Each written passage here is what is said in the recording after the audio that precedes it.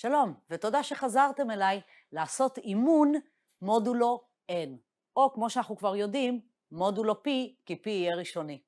זהו, בואו נתחיל. הנה התרגיל מספר 1, פיתרו את המשוואות הנתונות מעל Z7.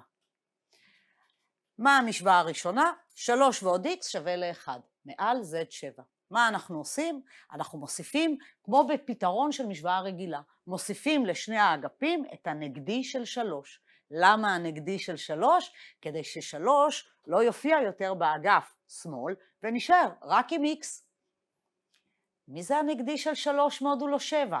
זוכרים? n מינוס a, 7 פחות 3, שזה 4. כלומר, הנגדי של 3, שזה מינוס 3, הוא מודולו 7 שווה ל-4.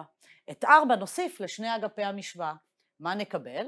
המשוואה הראשונה זה 4 ועוד 3 ועוד x זה האגף הראשון, שווה ל-4 ועוד 1. הוספנו את 4 לאגף אחד ולאגף השני. מה קיבלנו? באגף שמאל אנחנו כבר יודעים ש-4 ועוד 3 יהיה 0, כלומר נשאר רק עם x, הנה הוא, ובאגף השני, מה יוצא? אני מרוצה. מה יצא? 4 ועוד 1. לכן x שווה ל-5 מודולו 7. מה המשוואה השנייה? 3x שווה ל-4. זה מה שאנחנו רוצים לפתור. איך אנחנו פותרים משוואות כאלה? אנחנו כופלים בהופכי של 3. מהו ההופכי של 3 מודולו 7? זה מה שאנחנו שואל, שואלים את עצמנו. אז אנחנו פשוט מחפשים מספר שכשנכפול אותו ב-3 נקבל 1 מודולו 7. בדרך כלל אפשר לנסות על ידי זה שאנחנו עוברים על כל האיברים בקבוצה. אין טעם לנסות את 1, כי 1 הוא רק הופכי של 1. אז בואו בודקים את 2, בודקים את 3, 3, למשל, 3 כפול 2 זה 6, מודולו 7, לא 1. 3 כפול 3 זה 9, מודולו 7 זה 2. וככה ממשיכים. כשנגיע ל-5 נקבל 3 כפול 5 זה 15, מודולו 7 זה 1. טוב, אז ההופכי של 3 מודולו 7 הוא 5. אם תשאלו אותי מה עושים עבור פי ראשוני מאוד מאוד גדול, זה יהיה לנו קשה למצוא על ידי הצבא, זה המון המון עבודה. לא לדאוג, יש פטנטים, אבל זה לא נושא לדיון בקורס שלנו. אנחנו נעבוד רק עם מספרים ראשונים שאפשר למצוא על ידי ניסוי וטעייה את ההופכי. אז מה אנחנו נקבל? כופלים את שני האגפים בהופכי של 3 ב-5, צד אחד אנחנו יודעים מה יצא, אפשר לבדוק את עצמנו, אבל אנחנו כבר יודעים שיצא 1, בגלל זה בחרנו לכפול ב-5, אז מקבלים את x. בצד שני, באגף ימין נקבל 5 כפול 4. 5 כפול 4 זה 20, מודולו 7 זה 6. לכן x שווה ל-6, מודולו 7. בואו נראה תרגיל נוסף. אנחנו רוצים לפתור את המשוואה 3x ועוד 6 שווה 11, פעם מעל z7 ופעם מעל z3. אז נתחיל מעל z7, 3x ועוד 6 שווה ל-4, מה הדבר הראשון שעושים?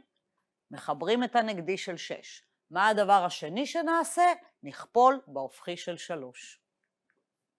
אז מהו הנגדי של 6 מודולו 7? את זה אנחנו תמיד יודעים לעשות. n פחות a, 7 פחות 6 זה 1.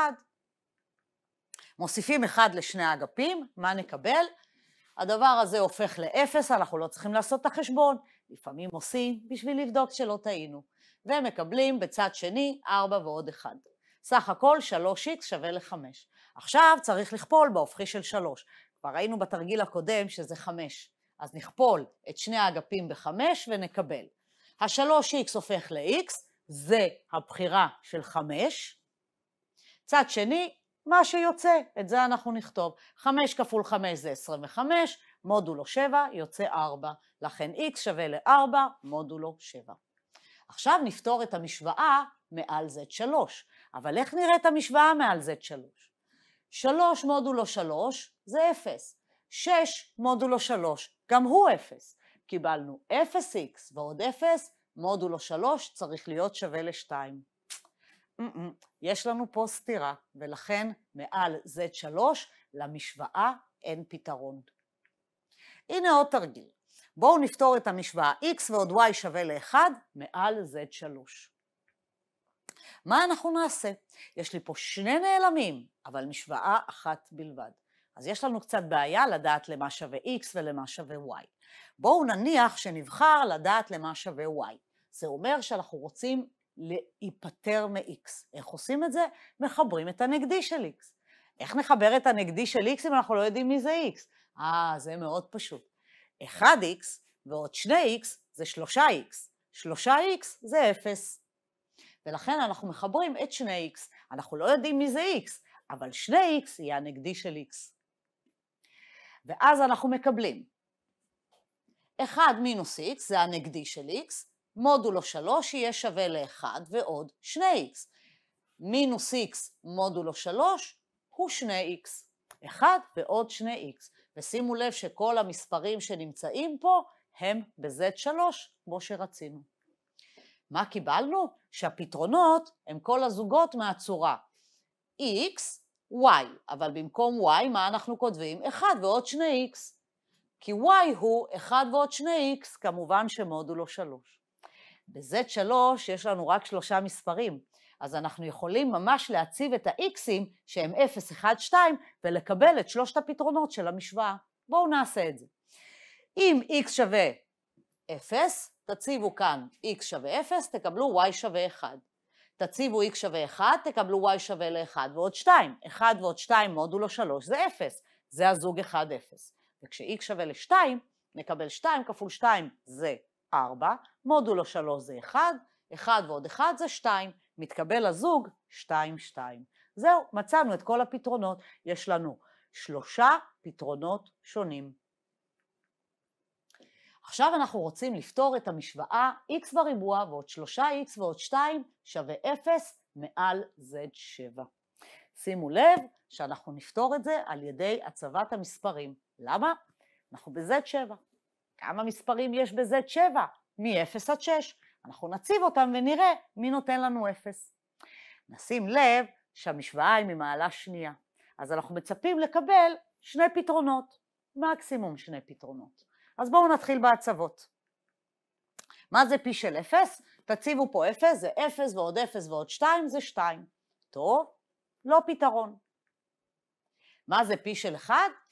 זה 1 ועוד 3 ועוד 2 יוצא, מודולו 7 יוצא 6.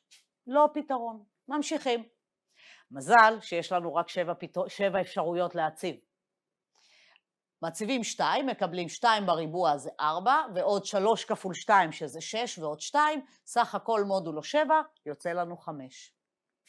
נציב את 3, 3 בריבוע 9, 3 כפול 3 גם 9 ועוד 2, 9 ועוד 9 ועוד 2, עושים את זה מודולו 7, מקבלים 6, כי זה 18 ועוד 2 זה 20, מודולו 7 זה 6.